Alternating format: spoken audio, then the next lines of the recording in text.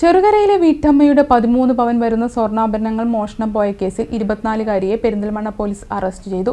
കോങ്ങാട് സ്വദേശിനി വിനീഷമോളാണ് അറസ്റ്റിലായത്. ചെറുകര പുളിങ്കാവിൽ വാടകയ്ക്ക് താമസിച്ചിരുന്ന കോങ്ങാട് സ്വദേശിനി വിനീഷമോളാണ് സ്വർണാഭരണങ്ങൾ മോഷണം പോയ കേസിൽ അറസ്റ്റിലായത്. വീട്ടുടമസ്ഥയോട് സൗഹൃദം നടിച്ചും അലമാരയിലും പെട്ടിയിലുമായി സൂക്ഷിച്ചിരുന്ന പതിമൂന്ന് പവൻ സ്വർണം പലപ്പോഴായി കൈക്കലാക്കുകയായിരുന്നുവെന്ന് പോലീസ് പറഞ്ഞു. മോഷ്ടിച്ച സ്വർണാഭരണങ്ങൾ പെരിന്തൽമണ്ണയിലും പാലക്കാടുമായി വിൽക്കുകയായിരുന്നു. ശാസ്ത്രീയമായ ചോദ്യം ചെയ്യലിലാണ് പ്രതി കുറ്റം സമ്മതിച്ചത്. പെരിന്തൽമണ്ണ കോടതിയിൽ ഹാജരാക്കിയ പ്രതിയെ പതിനാല് ദിവസത്തേക്ക് റിമാൻഡ് ചെയ്തു.